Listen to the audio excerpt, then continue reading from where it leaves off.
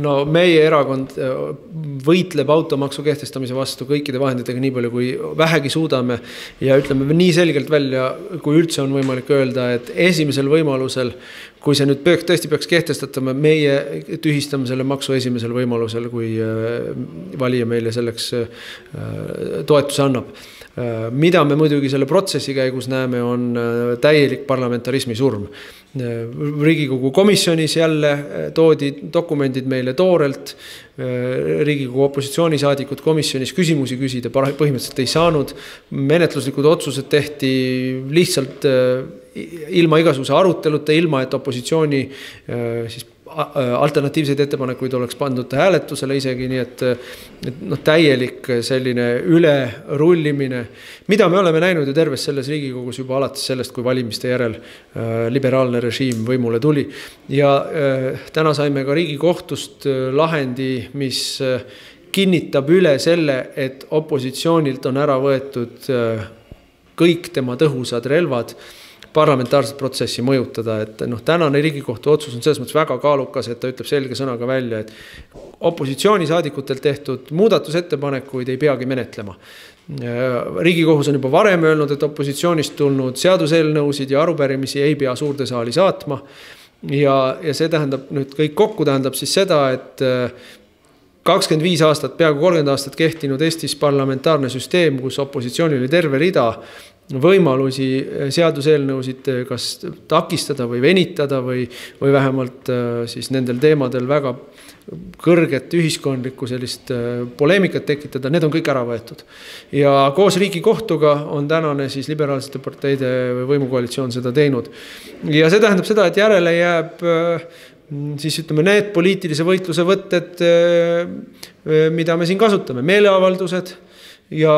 Riigikogu suures saalis siis kõnede pidamine, küsimuste küsimine või ka mingil muul moel töö takistamine. noh, täna me näiteks äh, ei lasknud äh, Mart Võrklaeval oma kõnet pidada,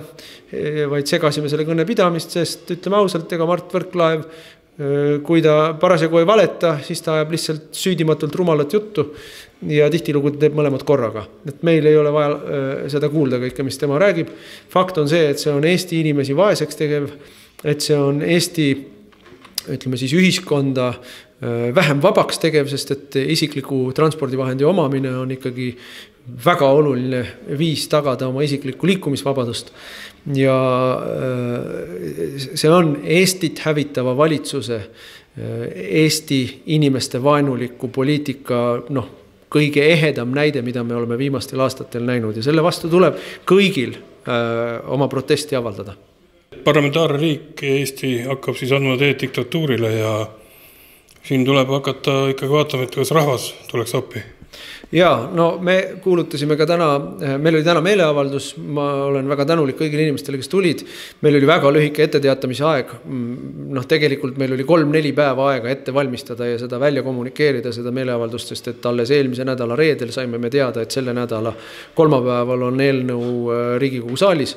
nii et noh, mõne päevaga ei ole võimalik suurt meeleavaldust korraldada, lihtsalt see info ei levi. aga sellest hoolimata tuli väga palju inimesi, hoolimata sellest, et tegemist on ka argipäevaga ja et õues on ikkagi talveilm nii et selle, selle üle võib ju iseenesest olla uhke, et inimesed nii kiiresti ja nii hakkajalt reageerisid. aga meil on plaanis veel üks äh, aktsioon, kus kõik Eesti inimesed saavad oma protesti väljendada. me soovime, et kaheteistkümnendal märtsil äh, kõik Eesti inimesed kindlal kellaajal, küll me selle kellaaja ka ilusti paika paneme, välja kuulutame, et, et, et kõik Eesti inimesed jääksid ühel hetkel oma liiklusmasinaga, sõidukiga seisma, paneksid ohutuled peale ja laseksid protestiks Kaja Kallase valitsuse poliitika vastu signaali. et eh, meil on nüüd aega mitu nädalat, et see protest teha ja meie soov on selline, et me teeme seda, mida me näeme, mis toimib eh, Saksamaal või Prantsusmaal või Hollandis või Poolas